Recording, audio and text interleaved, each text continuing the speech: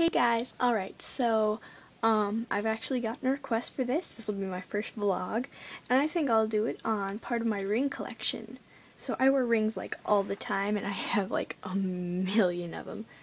So I guess we'll get started on that. Alright, down on my terribly messy dresser.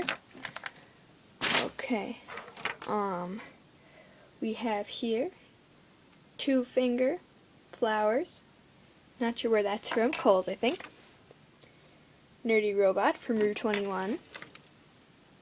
Mustache from Rue 21. I'm like obsessed with mustaches right now. They're so awesome. um, oh god, this is messed up.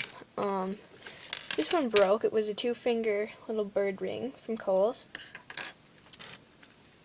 Two finger shiny thing, I think from Vanity.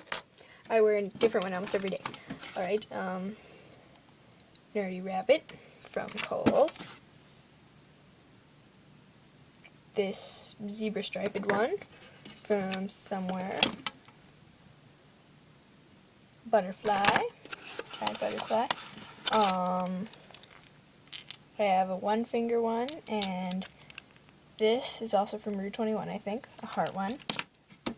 Um, got this little trick one that I got. Well, it's not a trick, it's just blue. I got it from the state fair.